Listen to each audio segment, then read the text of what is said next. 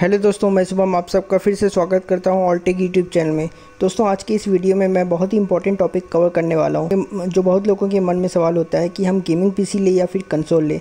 जी हाँ दोस्तों, आज हम बात करेंगे कि आपको गेमिंग के लिए पीसी लेना चाहिए या फिर लेना चाहिए कंसोल मैं आज ऐसे पाँच पॉइंट्स कवर करूँगा जिससे मुझे लगता है आप लोगों के मन में जो भी डाउट होगा वो आज क्लियर हो जाएगा कि आपको दोनों में से क्या लेना चाहिए।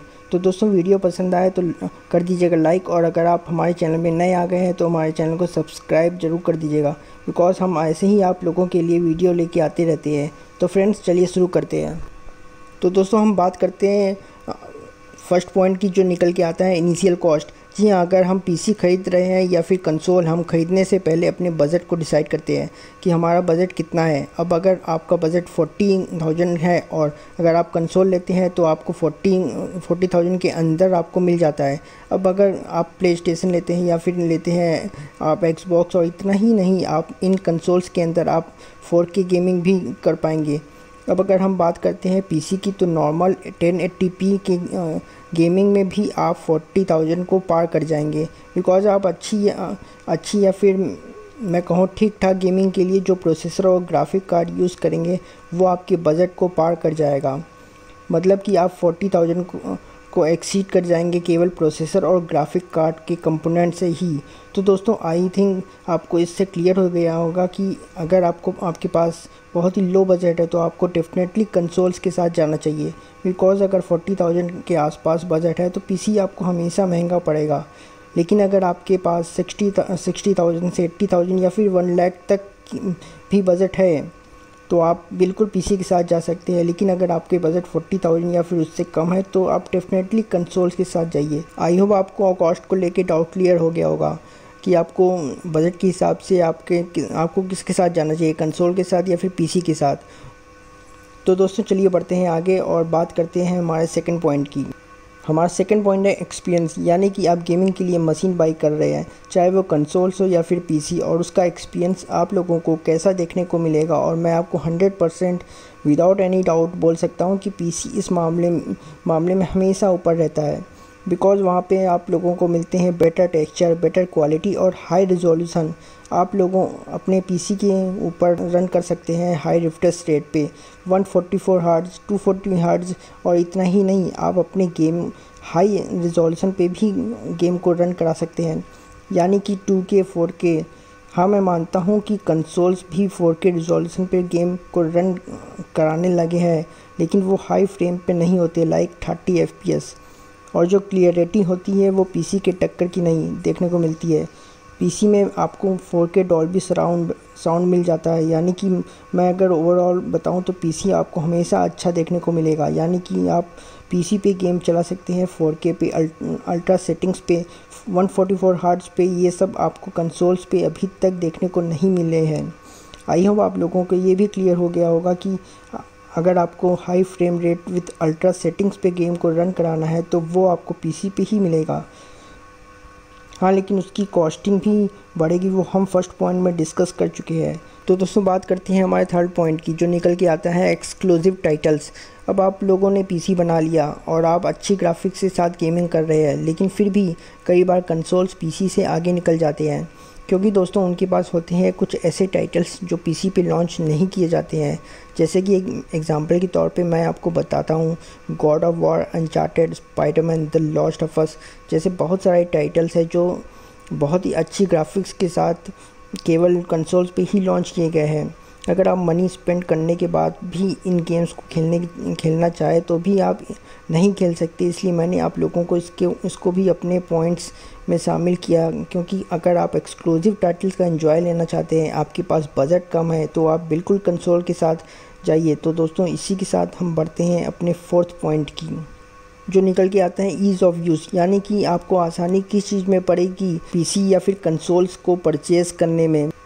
मान लीजिए आप इलेक्ट्रॉनिक्स मार्केट में नए हैं, आपको पीसी या फिर उसके पार्ट्स के बारे में बिल्कुल भी नहीं पता है। आप पीसी के बारे में कुछ नहीं जानते हैं। अगर आप चाहते हैं कि आपके, आपका बजट फोर्टी थाउज़ेंड के आसपास है और केवल अच्छी गेमिंग करनी है तो हमेशा ईज़ ऑफ़ यूज़ आपको कंसोल के साथ ही पड़ेगा। क्यों क्यों? क्योंकि आपको कंसोल में कुछ नहीं करना है। प्लग एंड प्ले है। मतलब आपको कुछ नहीं करना है। कंसोल में केवल आपको एचडीआई लगानी है और खेलना शुरू कर देना है। न ही आपको कोई सिस्टम या फिर पैच इंस्टॉल करना है। वेयर एज अगर आप कंपेयर करते हैं पीसी के साथ में तो वहाँ पे आपको कभी ना कभी कुछ इशू फेस कर, करनी पड़ जाती है। लाइक कभी फाइल्स करप्ट हो जाती हैं लेकिन कहीं डीएलएल फाइल्स मिसिंग हो जाती है विंडोज़ का एरर आ जाता है अपडेट्स प्रॉब्लम हो जाती है। ऐसी बहुत सारी प्रॉब्लम है जिनके लिए आपको इन्फॉर्मेटिव होना पड़ता है। जानना पड़ता है विंडोज़ के बारे में। तो दोस्तों आपको इन सब के चक्कर में नहीं पड़ना है। अगर आप केवल बेसिक चीज़ों को ही समझना है आप बस केवल गेमिंग करना है तो गेमिंग करना चाहते हैं तो आप डेफिनेटली कंसोल के साथ जा सकते हैं। चलिए तो बढ़ते हैं इस वीडियो की लास्ट पॉइंट की तरफ़।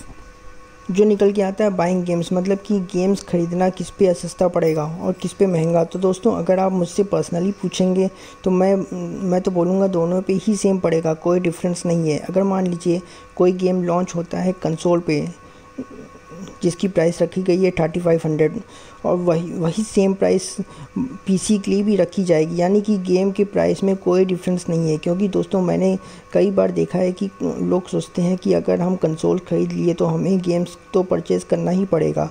और अगर हम पीसी बना लिए तो हम गेम कहीं से भी क्रैक वर्जन डाउनलोड कर लिए। गाइस सबसे पहली बात, ये तो गलत है, मैं कभी किसी, इस चीज़ को सपोर्ट नहीं करूँगा। और अगर आप ऐसे करते भी हैं तो जो आप पीसी में कर पाएँगे, वही आप कंसोल पे भी कर पाएँगे। आप कंसोल पे जेल में करवा के चाहे जितने गेम डलवा सकते हैं। यानी कि आप अपने पास के स्टोर पे जाइए और वहाँ पे जेल ब्रेक करवा के कोई भी गेम डलवा लीजिए। ये तो और भी ज़्यादा इजी पड़ता है। और इतना ही नहीं, दोस्तों, आप कंसोल पे आप लोग रेंट पे डीवीडी ले सकते हैं। यानी कि आप कोई गेम लाइए, उसको खेल के वापस कीजिए और फिर दूसरी ले जाइए। ऐसी बहुत सारी स्टोर्स होती हैं और काफ़ी सारे लोग ऐसा करते भी हैं। यानी कि जैसे जैसा मैंने कहा गेम परचेज़ करना दोनों में ही इक्वल है। अगर आप कंसोल पे हैं तो भी आपको पैसे देने पड़ेंगे और अगर आप पीसी पे हैं तो भी आ, आपको पैसे देने दे, देने पड़ेंगे।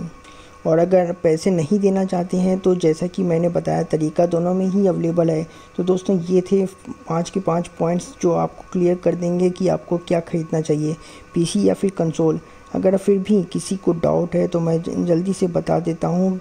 अगर बजट कम है तो कंसोल के साथ जा जा सकते हैं, लेकिन अगर बजट सही है और कमाल की गेमिंग करना चाहते हैं हाई रिजोल्यूशन पे 4K पे, चाहे 4K भी नहीं एचडी पे विथ अल्ट्रा सेटिंग्स के साथ हाई डिटेलिंग हो बेटर टेक्सचर हो, देखने में मज़ा आए तो फिर आप डेफिनेटली पीसी के साथ जा सकते हैं।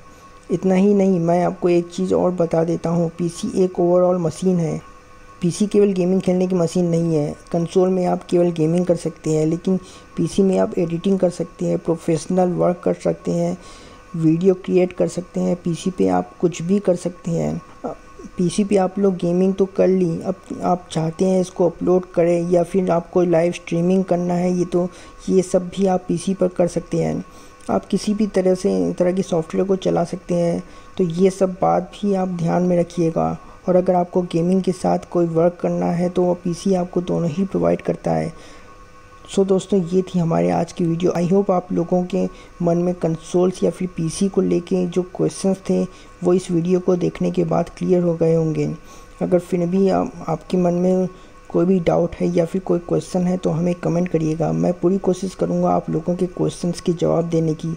और अगर आप इसी तरह की और वीडियोस देखना चाहते हैं तो प्लीज़ हमारे चैनल को सब्सक्राइब कर लीजिएगा। तो चलिए मैं मिलता हूँ इसी तरह की न्यू एक्साइटिंग वीडियोज़ में। तब तक के लिए goodbye thanks for watching our video see you next time keep watching all tech